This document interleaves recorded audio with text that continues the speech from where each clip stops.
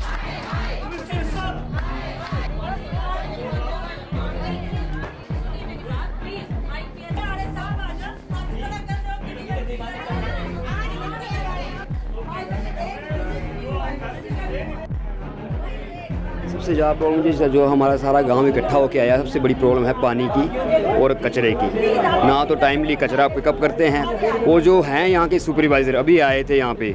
Maximum लोग का कहना यही है कि मैं खुद बोल रहा हूँ उनको कि मैंने आज तक उनको कोई फ़ील्ड में देखा नहीं है। जस्ट फ़र्स्ट टाइम उनके फेस टू फेस हुआ मेरे सामने आज। और इससे पहले हम एक हफ़्ता पहले यहाँ पर आए थे अपनी डिमांड्स को लेकर। तो हमें बात हुई थी हमारे यहाँ जो यहाँ पर जॉइंट कमिश्नर हैं।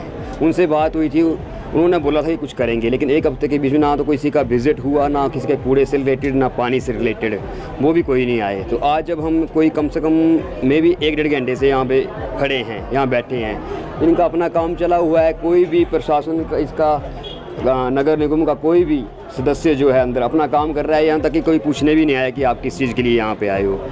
वो जो सुपरटेंट जी हैं, वो भी अंदर बैठे हुए हैं, उनको भी दो बार मैसेज गया। वो भी नहीं आए यहाँ पे कि एक बार पूछें कि ये किस डिमांड्स को लेकर यहाँ पे आए हुए हैं। ज्वाइंट कमिश्नर सर से हमारी पिछले हफ़्ते मुलाकात हुई थी। तो उस टाइम उन्होंने बोला था, कोई बात नहीं, देखेंगे। लेकिन वो देखना क्या हुआ, एक वन साइड इग्नोर उन्होंने हमें इग्नोर ही किया था आई थिंक क्योंकि अगर कुछ देखना होता तो विद इन वीक में वो एक बार विज़िट करते या खुद नहीं आते, कोई सुपरवाइज़र किसी को भेजते यहाँ पे।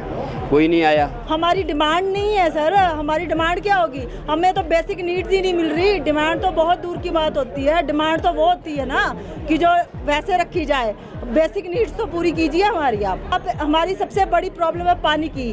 पानी वहाँ पे कभी भी प्रॉपर चैनल में पानी नहीं आया। ठीक है ना? वहाँ पे लीकेज हमेशा पाइपों में लीकेज रही है। वहाँ पे कोई चेक नहीं है। किसी का चेक नहीं है। किसी ना तो डिपार्टमेंटल चेक है ना तो जो है हमारा म्यूनसिपल कॉरपोरेशन के थ्रू चेक है। सैनिटेशन की इतनी बहुत इतनी गंदी हालत है कि आप खुद देखेंगे तो उस रास्तों पर चलना नहीं आपको होगा। दूसरी बात, इस सीवेज की प्रॉब्लम है। तीसरी बात स्ट्रीट लाइट्स नहीं है। हम लोग आईपीएच डिपार्टमेंट भी गए थे और जॉइंट कमिश्नर सर से भी बात की। उसके बावजूद भी यहाँ पे कोई सुपरवाइजर ने वहाँ पे रिपोर्ट नहीं किया कि आपकी क्या प्रॉब्लम है, हम वहाँ पे सुधार सकते हैं। तो ये चौथी हमारी प्रॉब्लम यहाँ पे जो हमारा कंस्ट्रक्शन मटीरियल फेंका जाता है, उस पर तभी तभी चलान किया जाता है। जबकि इसको पे जगह ही नहीं है कंस्ट्रक्शन मटीरियल फेंकने की।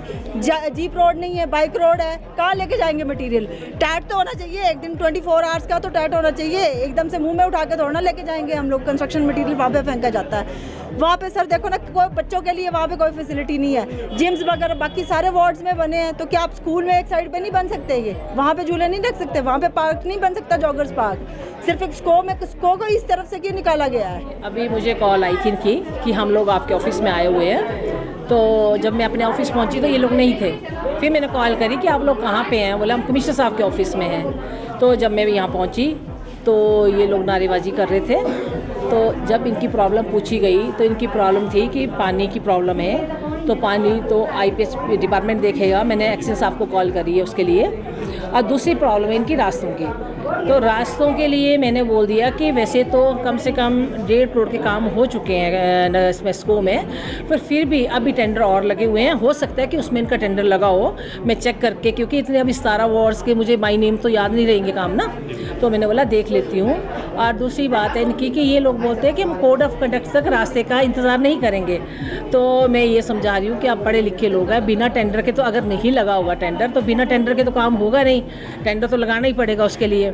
और जो इनकी गार्बेज की समस्या है, उसके लिए मैं अभी इनके पास जाके देखूँगी कि क्या है गार्बेज की और रास्तों की। एक बार इनके साथ जाके जो है, और इसका वार्ड का विज़िट करूँगी और जो इनकी प्रॉब्लम होगी जल्दी से जल्दी सॉल्व करेंगे। पर देखिए, मैं ऐसा तो सोच सकती हूँ कि एक आध घर होगा कि जिससे नहीं उठाए। बाई चांस बाई मिस्टेक रह रहा होगा।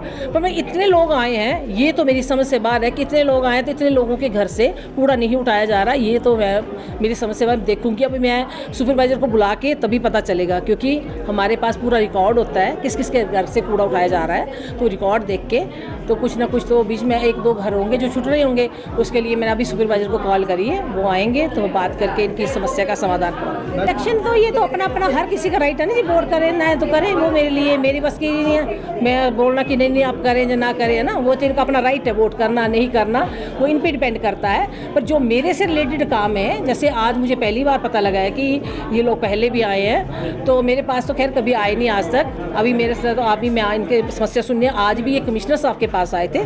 मेरे पास नहीं आए थे, पर यहाँ कमिश्नर साहब और एडिशनल कमिश्नर साहब नहीं हैं। इसके लिए मैं इनके मुझे कॉल करी तो इनकी समस्या सुनने आई थी। और अगर इनकी समस्या जेनुअन है, अभी मैं जाके देखूँगी। और बहुत जल्द जेनुअन ही होगी जो, लेकिन इतने उठ के आए हैं, अपने घरों से बेचारी लेडीज़ आई हैं, है ना? तो मैं देखूँगी कि क्या कारण है, जो इनके रास्ते नहीं बने। क्योंकि इतना ज़्यादा काम होने के बावजूद, अगर इतने लोग आए हैं, रास्ता नहीं बना, ये तो लोगों की बेसिक नेसेसिटी है ना इनकी। और पानी भी बेसिक नेसेसिटी है। अगर इनको ये प्रॉब्लम है तो ये लोग सच्चे हैं। इनकी समस्या का जल्द से जल्द समाधान करूँगी।